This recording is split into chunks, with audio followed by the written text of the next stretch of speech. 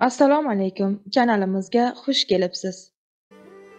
Meni tinglab, fikr bildirib, layk bosib, qo'llab-quvvatlab turgan muxlislarga o'z minnatdorchiligimni bildiraman. Achchiq hayot. Otam 2 yoshimda olamdan o'tib ketgan. Onam 5 farzandlarni yolg'iz katta qildi. Men eng kichik qizlar edim. 16 yoshimda uyimizga tinmay sovchilar kelardi. Onam otam yo'qligi bois 16 yoshimda turmushga berib yubordi. Yoshman, uy ro'zg'orga judayam qiynalardim. Asta-sekin o'rganib ketdim. Ozg'in, nimjon edim, lekin uy ishlarini hammasini bajarardim. Alloh 17 yoshimda farzand ato etdi. O'g'il ko'rdim. O'g'lim 5 kun yashab olamdan o'tdi. Ko'p siqildim. O'g'limni yo'qotganimdan ko'nglim o'ksib, yig'lab-yig'lab olardim. Tez orada yana homilador bo'ldim. Oy kunim yetib yana o'g'il farzandli bo'ldim. Hayotim yaxshi edi. Umr yo'ldoshim, qaynonam mehribon insonlar edi. Ko'nglimga qarashardi. Ayol uchun qanday baxt kerak bo'lsa, hammasi menda muhayyo edi. Allohim bergan farzandimni hidlab-hidlab hidiga to'ymasdim.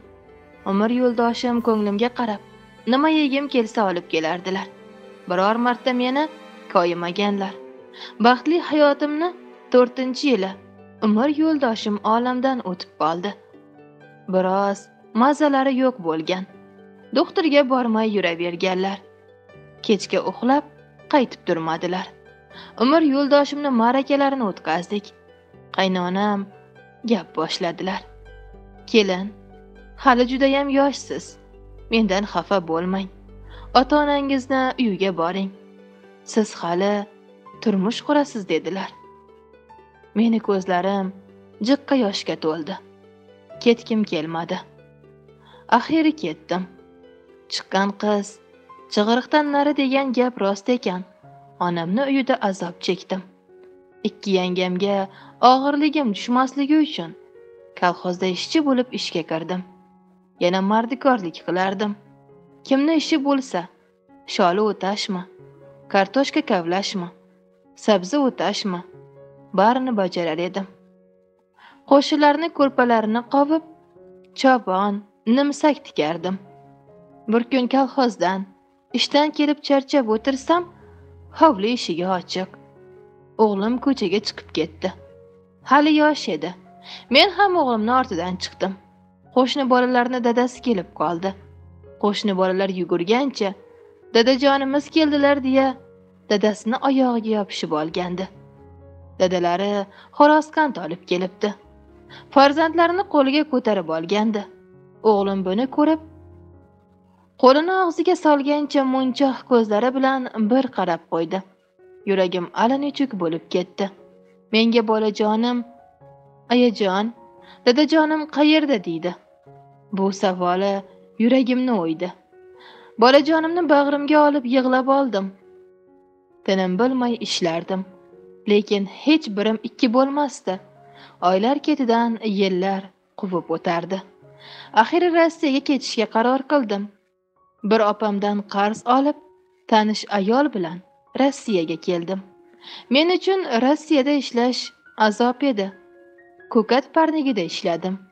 Yaqinlarim uzoqda. Farzandimni tez-tez sog'inib, burchaklarda hech kimga ko'rsatmay yig'lab olardim. 6 oy deganda qarzimdan qutuldim. So'ng bir opa bilan tanishib, magazinga farrosh bo'lib ishga kirdim. Asta-sekin ishim yurishib ketdi. Erkaklar gap otardi. Biri otam qatori, biri ukamdan yosh, biri o'zim bilan teng. Hatto yo'limni to'sib, kun bermaganlari ham bo'lgan. Men e'tibor bermasdim. Men uchun erkak kishini qizig'i yo'q edi. Tinim bilmay ishlardim. Podrabotkalar ham topgandim. Anchagina pul jamg'argandim. Kunlarning birida onajonimga qo'ng'iroq qilganimda qaynonamlar uchastkalarni sotayotganlarini aytib qoldilar. Qizim, qancha puling bor? Qaynonang 4 sotiqli uchastkasini sotayotgandi dedilar. Men hayron qoldim. Onajon, axir meni o'g'lim bor-ku. nevaralari uchun shu uchastkalarni berishsa bo'lardi-ku axir qizim bo'lsa boshqa gap edi mayli bolam pulingga olsang tiling uzun bo'ladi yutqizmaysan dedilar onam onamni so'zlarini ikki qilmadim yer olishga pul yubordim. Hozirgacha onamni aytganlarini qilaman.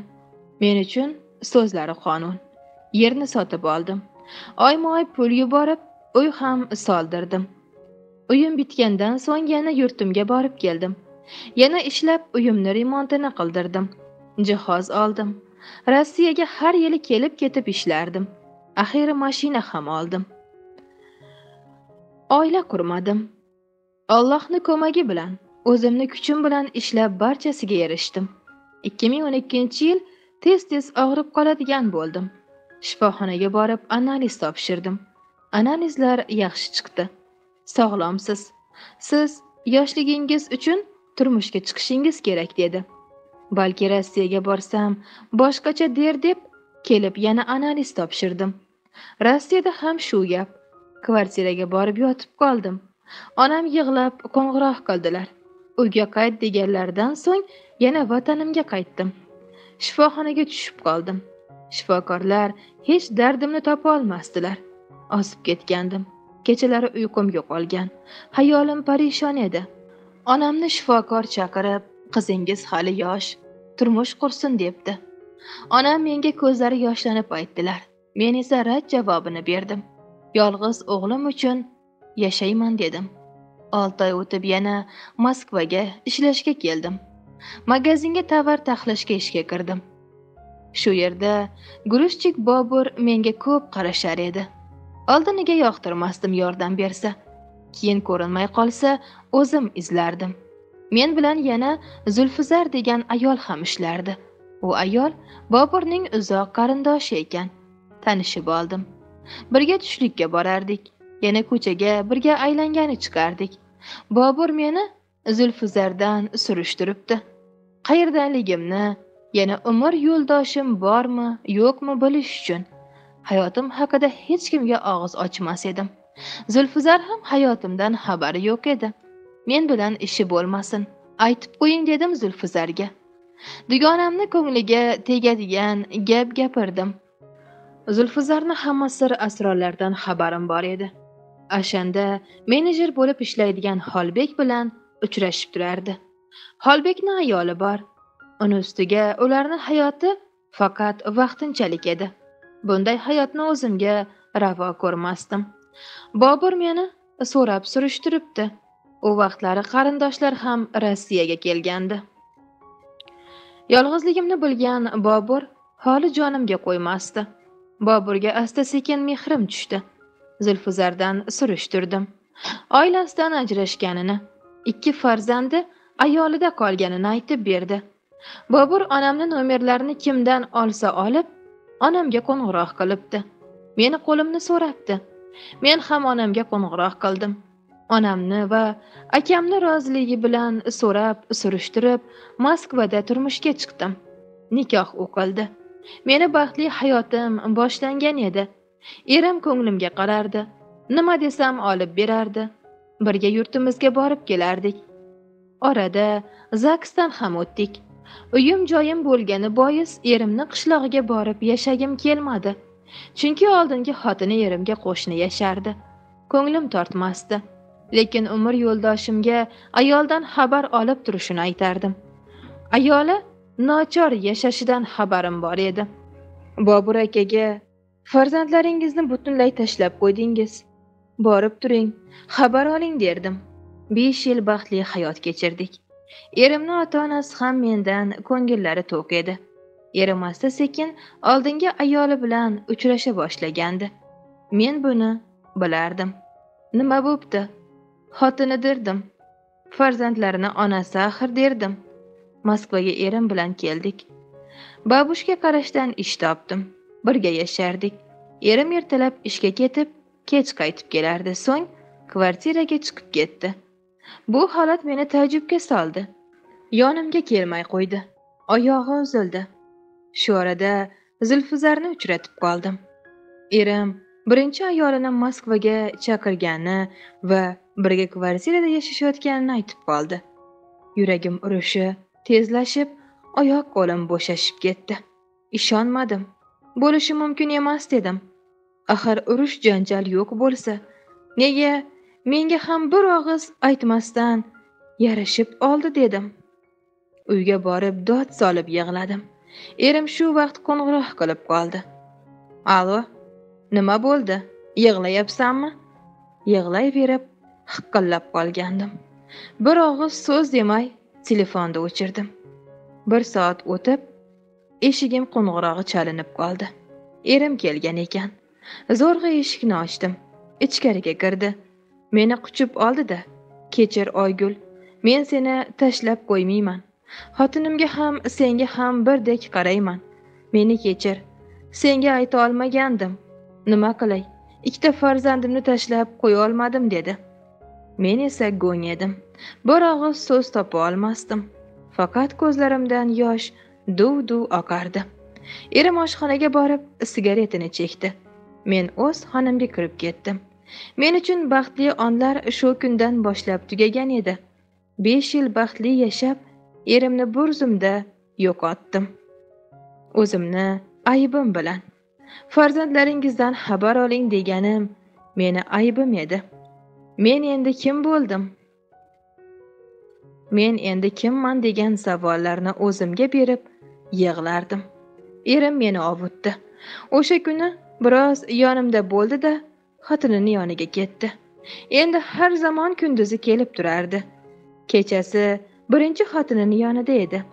Men xuddi o'ynash kabi edim. Bunday hayot menga yoqmasdi. Axiri uyimga kirgizmay qo'ydim. Erim bo'lsa oygul qo'ygin bu qilig'ingni. Menga bosim o'tkazma. Men seni tashlab qo'ymayman dedim-ku derdi. Men bo'lsa menga bunday arosatda bo'lgan hayotingiz keragi yo'q. O'ynashdek yashashni istamayman derdim. Uyga ketib bir oyda qaytib keldim. Erim men uchun kvartira sinimat qilmadi. Ish topgunimcha o'zim kvartira sinimat qildim. Xotini uchun kvartira sinimat qilgan birga yashashardi. Xotini uyda o'tirardi. Shu orada ish topib ishlardim. So'ng yana babushga qarash ishga chiqdim. Erim yana izlab kela boshlagandi. Erimni yonimga yaqinlashtirmay qo'ygandim chunki vijdonim qiynalardi. Men o'z qo'lim bilan baxtimni yo'qotgan edim. Farzandlari yetim bo'lmasin deb erimni oldingi xotiniga borishga unagan o'zim edim. Har kuni qo'ng'iroqlariga javob bermasdim. Lekin ich ichimdan erimni sog'inar edim. Besh yil oz fursat emasdi axir. Magazinga chiqib ketyap tursam erim podez yonida meni kutib turgan ekan. Ko'rmaganga olib ketolmadim. Yonimga keldi. Yaxshimisan oygul. Nega qo'ng'iroqlarimga javob bermaysan axir? Sabab yana o'shami? Meni kechiring bobur aka. Men bunday hayotda yashay olmayman. Keling. Yaxshilikcha ajrashamiz. Yurtimizga borsak zagsga ariza berib kestiramiz. Farzandlaringiz yetim bo'lmasin. Bu nima deganing ahmoqlik qilma. Kundoshing rozi. Sen bilan yashashimga ham. Ikkingni birdek ko'rsam bo'ldida. Ikkimizni birdek ko'rolmaysiz siz bobur aka. Kundoshimni yonida har vaqt borsiz. Meni yonimga kelib yarim soat o'tirasizmi yo'qmi? Birov quvganday qochib ketasiz. Yo'q men, men bunday hayotga chiday olmayman. Endi men uchun baxt eshigi yopilgan. Farzandimni hademay uylantiraman. Siz omon bo'ling. Qaytib meni izlamang. Xayr oygul to'xta bu nima deganing? Axir besh yil yashadim. Farzandlarimni o'gay otaga ketmasin deb yarashdim xotinim bilan. To'xta oygul deya erim ortimdan gapirib qoldi. Men magazinga ham bormay uyga kirib ketdim. Eshigimni mahkam yopdimda o'zimni kravatga otib zor zor yig'lab oldim. Hafta oylar o'tyapti. Bobur akadan ko'nglim ham sovidi yangi yilni bir o'zim kutdim. Telefon qildi olmadim. Javob bermadim ham. Inson hamma narsaga ko'nikar ekan. Yolg'izlikka ham ko'nikib bo'ldim. O'g'limni yoqtirganiga unashtirdim. Alloh nasib etsa ikki yildan so'ng to'y qilmoqchiman. Hikoya tamom. Muallif dilbar ahmedova. Manzur kelgan bo'lsa layk bosishni unutmang. Ibratli hikoyalar hayotiy voqealar va kundalik hayotimizda uchraydigan voqealar to'plami. Faqat bizning kanalda ibratli hikoya kanali. Ibratli hikoya kanali. Tashrif buyuring va kanalimizga obuna bo'ling.